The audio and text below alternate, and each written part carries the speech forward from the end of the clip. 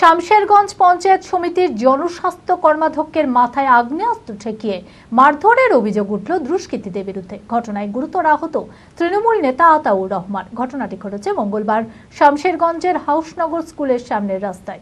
গুরুতর আহত অবস্থায় অনুপনগর ব্লক প্রাথমিক স্বাস্থ্যকেন্দ্রে ভর্তি করা হয় আতাউর রহমানকে। পরে জঙ্গিপুর মহকুমা হাসপাতালে রেফার করা হয়। এই ঘটনায় জেলা পরিষদের সদস্য আনারুল হকের বিরুদ্ধে অভিযোগ তুলেছেন আক্রান্ত তৃণমূল নেতা আতাউর রহমান। এই ঘটনার তদন্ত শুরু করেছে পুলিশ। মানসিক স্বাস্থ্যের জন্য সবার আগে যে নামটি মনে ভেসে ওঠে, সুস্থ মনের ঠিকানা মনোবীক্ষণ। যোগাযোগ number seven four triple seven double nine five one six মঙ্গলবার বিকেলে বিডিও অফিস থেকে নিজের কাজ শেষ করে বাড়ি ফিরছিলেন শামসেরগঞ্জ পঞ্চায়েত সমিতির জনস্বাস্থ্য পরিবেশ কর্মাধ্যক্ষ তথা তিন পাকুড়িয়া অঞ্চল যুব তৃণমূল কংগ্রেসের সভাপতি আতাউর রহমান।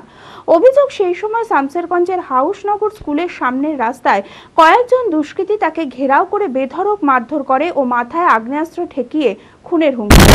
গুরুতর আহত অবস্থায় অনুপনগর ব্লক প্রাথমিক স্বাস্থ্য কেন্দ্রে ভর্তি করা হয় আতাউর রহমানকে।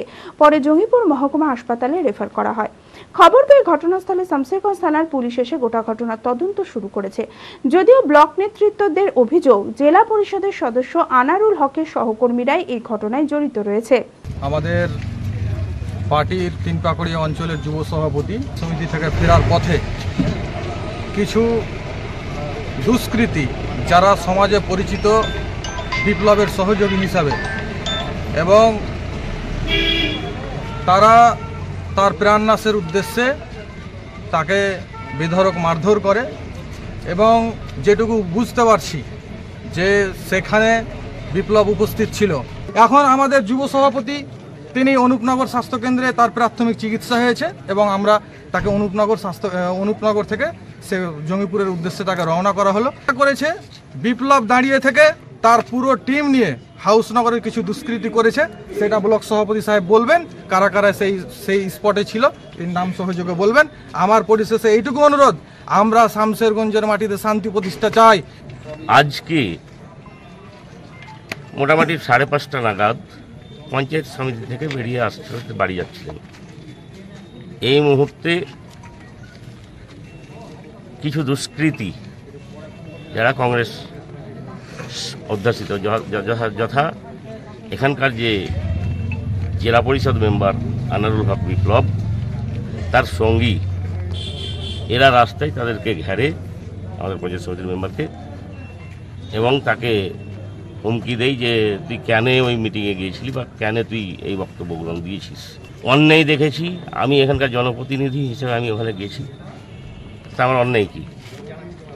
এই কথা কাটাকাটির মধ্যেই বেধড়ক আতাউর রহমান মেম্বারকে বেধড়ক মারধর করে।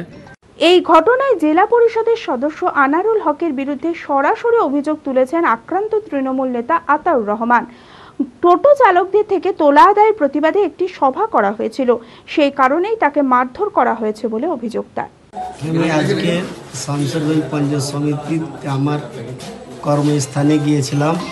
সেই আমার শামসেরগঞ্জ পঞ্চায়েত সমিতির কাজ সেরে আমি বাড়ির পথে রওনা দিয়েছিলাম। সেই সোজায় হাউসনগর স্কুলের সামনে কিছু বিপ্লবের ছায়া সঙ্গী নওয়াজ, রাফিকুল, নেফাউর আরও অনেকেই আমার গাড়ি এটকে বলে যে, গত পরশু দিন যে আমরা টোটোর টোটোর যে চাঁদা তুল, টোটোর যে টাকা তুলছি, সেই টোটোর টাকা তোলার জন্য তুই পরশু দিন কেন তাদেরকে তাদেরকে নিয়ে একটা পথসভা করেছি?